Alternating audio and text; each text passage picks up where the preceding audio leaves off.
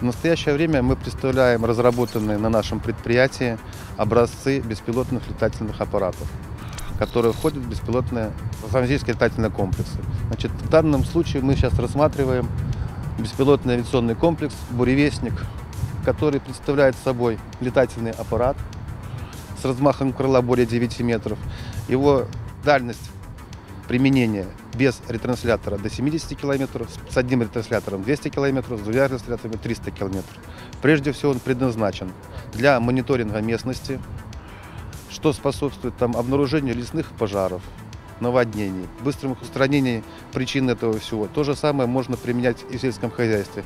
Следить за посевами, следить за инфраструктурой, даже в жилищном коммунальном хозяйстве, жилищной э, структурой автомобильных дорог, состоянием, состоянием зданий, сооружений и так далее. У него хорошие перспективы, мы его применяем и испытываем постоянно. Если не будет конструкторской мысли, конструкторской разработки, то не будет беспилотного аппарата. Здесь закладывается не только математика, здесь закладываются все высшие науки. Применение беспилотников – это сейчас современно и перспективное развитие, как не только в Беларуси, это во всем мире. Это подтверждается во всех практически условиях. Что еще в этом образце примечательно? Разгон его до взлета составляет 400 метров, для посадки около 600.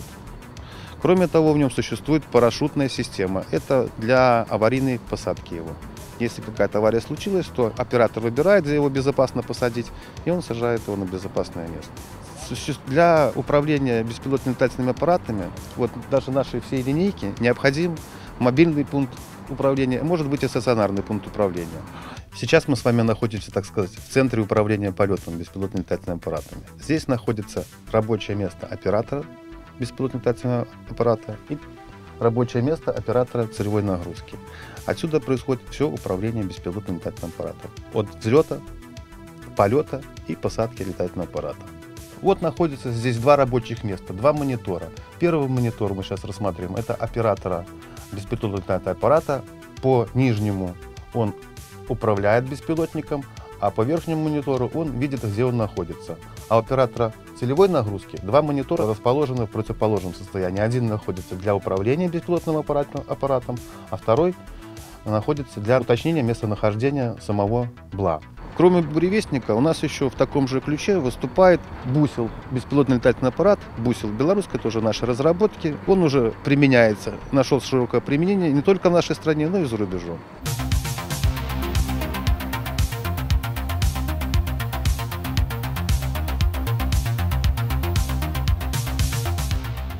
Наша компания, по решению руководства нашей компании, э, при поддержке Государственного военно-промышленного комитета, мы инвестируем значительные средства в разработку инновационной продукции, которая востребована на внешних рынках. В этом году мы представили ряд таких разработок. Вся продукция, которая здесь представлена, она вся востребована, она вся новая. Но есть несколько новейших разработок, впервые представлены и находящиеся на последних стадиях испытаний перед поставкой иностранным заказчикам. В частности, гранатомет, 60-миллиметровый гранатомет. Это чисто белорусская разработка, разработана наша компания. Он предназначен для поражения бронеобъектов, для поражения, для разрушения зданий, вернее, поражения противника, находящегося в укрытиях, а также живой силы противника. Значит, особенность этого гранатомета заключается в том, что э, оператор выбирает э, способ поражения непосредственно перед применением. То есть боевая часть имеет уникальный, уникальное строение. Она позволяет производить э, выстрел с использованием трех траекторий. Этот гранатомет может использоваться как одиночным, так и в спаренном, в четверенном виде одним стрелком – или в качестве э, при установке на роботизированный комплекс может ставиться до 16 таких гранатометов, что позволяет поражать значительное количество целей одновременно. Еще одной разработкой компании является это в сфере стрелкового оружия. В этом году представлены два пистолета-пулемета и снайперская винтовка. Особенностью является то, что снайперская винтовка сделана под патрон, используемый в пулемете. То есть здесь не нужен специальный снайперский патрон.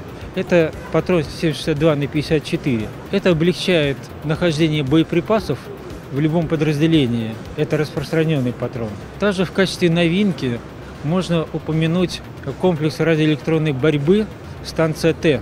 Особенностью данного комплекса является, что наряду со всеми атрибутами, необходимыми для осуществления такой борьбы, на ней установили еще РЛС, который позволяет, во-первых, находить эти беспилотники, которые находятся в режиме радиомолчания.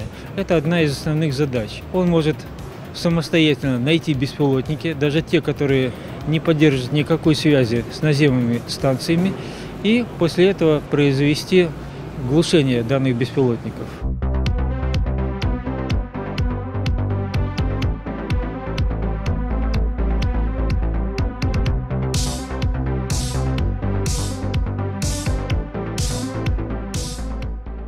Защищенное транспортное средство многоцелевого назначения «Защитник». Разработано на нашем предприятии специально для подразделений специального особого назначения. Для их доставки к местам проведения мероприятий, обеспечения охраны объектов, сопровождения колонн, в том числе миротворческих. Благодаря высокому уровню защищенности позволяет обеспечивать безопасность перевозимых представителей подразделений даже в условиях вероятного и возможного соприкосновения с противником. Степень защиты машины позволит э, лицам выполнить свою задачу, оставаясь при этом не ранеными, не поврежденными. Благодаря своим, скажем так, конструктивным особенностям по размерам способна помочь преодолеть препятствия, как заборы, стены определенные, и оперативно выполнить поставленную задачу.